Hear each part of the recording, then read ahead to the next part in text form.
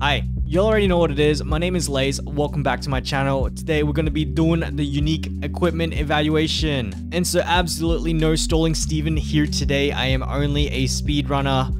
Steven, and so before we kick things off, I do want to mention that there are a couple of rumors floating around, you know, where we might be getting the batch 7 UEs before the next CB. And certainly in this video, I will address that. However, to kick things off, let's start talking about the lovely Djeeta. So Djeeta, for her UE, she is going to be able to restore her own TP by 200 and a global restore to everybody else by 100. To be honest, I don't know if there is actually a UE that is better than this one today. And so that is already very, very telling right? You're want to craft it high priority and level high priority. Miss Nyara's 100% got it right here, but I don't think there is anybody who doesn't really know that. However, if you guys are down bad on the heart shards, then I would say at least just unlock it but don't really level it because you see the 5 TP gain. Do remember that this TP boost is just allowing her to UE more. The real cracked part of it is in the effect. And so the note here, CB and PvE mainly completely agreed and she is certainly going to be relevant for an entire year, which is honestly, that's gonna like exceed the shelf life of a lot of different units. All right, so moving on, we have Monika who has a high craft priority. And the reason for this is because when she uses her buff at the very start, everybody the team used to get a 150 attack all attack buff as well as an action speed buff of plus 50% for 20 seconds. And so with the UE, she now gives everybody 1200 attack and 100% action speed, which is honestly utterly ridiculous. Generally speaking, however, her use case has not really changed. She is certainly going to be a PvP powerhouse. Very much an enabler, kind of like, okay, if I want to kill the enemy before they can kill me, I'm gonna take Monika. Just things like the Mage Melt, you've got the Turbo Suzuna, you got like all of the turbo ones. The action speed is just like too insanely valuable and the only other unit that kind of gives something like that, I think is Kokkoro. However, on the flip side, aside from PvP, there are some use cases in which Monika can be used for carryover. So I'm talking when you overkill a boss, you then get to like maybe go into like 50 seconds for the next boss, something like that. Just by looking at this effect and thinking about what is really required for those extra little bits of overkill,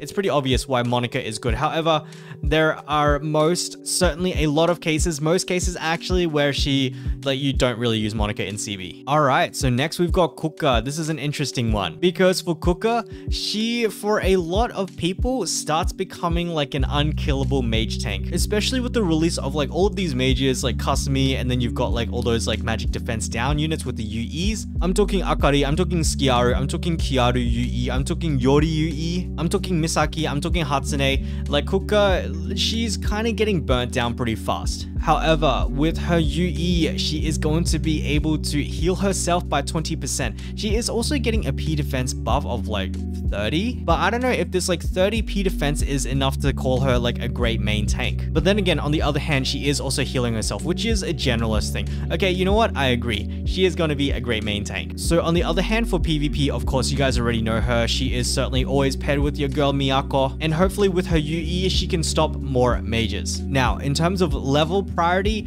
yes, it is high, but like you'll see why I am kind of hesitating to say that later on. Like out of all of these units, Kuka's UE, maxing out her UE is probably the highest priority because the stats of her UE are actually bonkers. 53 to P defense, 68 to M defense, and 90 HP boost, which means every time she heals, she's going to be healing for even more. So yeah, to be honest, if I could only pick one character to max out in terms of their UE, it would actually be Kuka. However, you already know, especially if you CB players, Kuka doesn't have overly much utility in the CB, and so the craft priority medium completely agreed. All right, and so next we've got Yuki, who has a craft priority of medium and low level.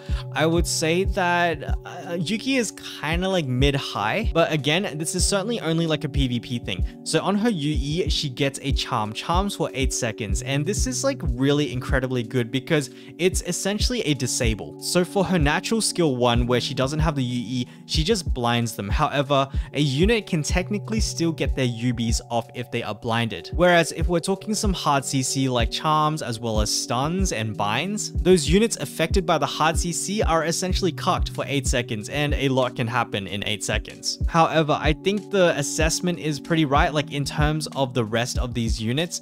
Yuki number 4, yeah, I, I would agree. However, absolutely do not level the UE up at all. Well, like maybe go to level 30 or something, kind of similar to Monika. You just really want the effect and then let's move on. And so next we've got Ayane, which is an interesting one. So she is going to get a longer stun as well as some extra single target damage. And then on top of that, she is going to be debuffing the enemy's action speed by 20% for 10.5 seconds.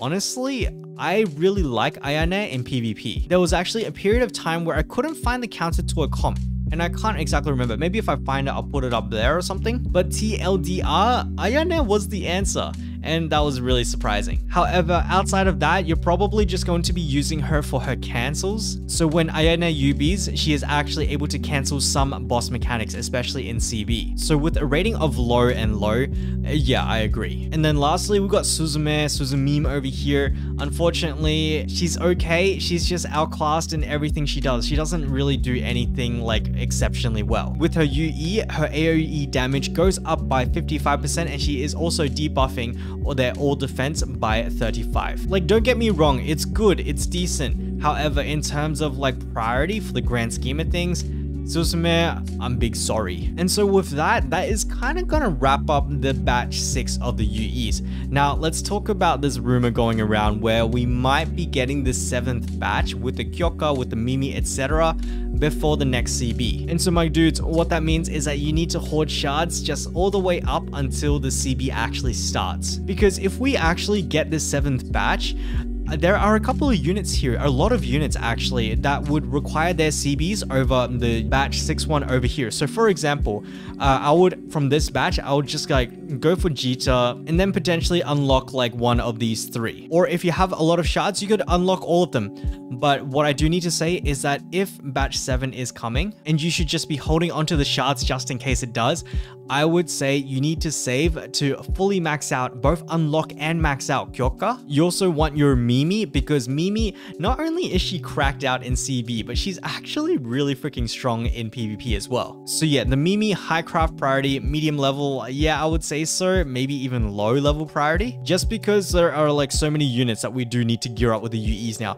And so last of all, we have Illya down here. Illya, you guys already know what it is. Hopefully like Illya, you aren't experiencing like the Illya self kills. And so yeah, to sum up the advice, you are almost 100% going to be unlocking and maxing out Djeeta. Second thing is when we have a look at the batch 7 and we're preparing for it, hold on to your heart shards and be prepared to unlock and max your Kyoka and also be prepared to unlock your Mimi as well as your Illya. I would say that Kyoka is at the same priority as the Djeeta. So it's got to be Djeeta, it's got to be Kyoka. And then I would say the Mimi is probably at the same priority as Monika. However, if you're a CB player, Mimi is higher priority than Monika. And then just moving down, we got the Illya as well which uh, could certainly be a priority. And so yeah, that is it for batch 6 and potentially batch 7 UEs. Hopefully that was kind of helpful. Like yeah, I just wanted to address those rumors because it is a very real possibility that we do get these uh, these batch 7 UEs. Alright, that's kind of it for the video. You already know what it is. You need to let me know, boys. You need to let me know. Are you guys down bad for those princess shards? Because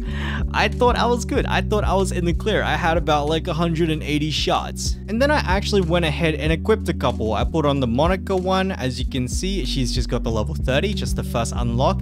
And then I put on the Djeeta one, where I actually went ahead and maxed out her entire unique equipment. And then I went to have a look at some of the other units. I was like, okay, well, what about Yuki? And then I looked at the amount of shards I had, and I only have 111 left. Remember, my boys, you need about 68 to not only unlock, but then also max out. So I need to save 68 for Kyoka, and then another 30 for Mimi, and then potentially like 30 plus 38 for Rin as well because I don't have Rin. My guys, like every time I feel like I'm ahead of the game, I'm not. The game comes back and does like a, there's a Will Smith on me, you know what I'm saying? And so boys, let me know how you guys are going with your Princess Hearts clearly I am down bad because clearly you guys saw I don't have the Ninon UE, I don't have the Nozomi UE, I don't have like I still don't have like half the UEs actually. My dudes, let me know down in the comments below. And if you do end up leaving one, I would really appreciate that. So thank you guys so much. My boys, you already know the drill. Like, subscribe, and notification bells on. But otherwise, as your boy Yuki once said, all good things must come to an end. So thank you guys so much for watching, and I'll catch you guys in the next video.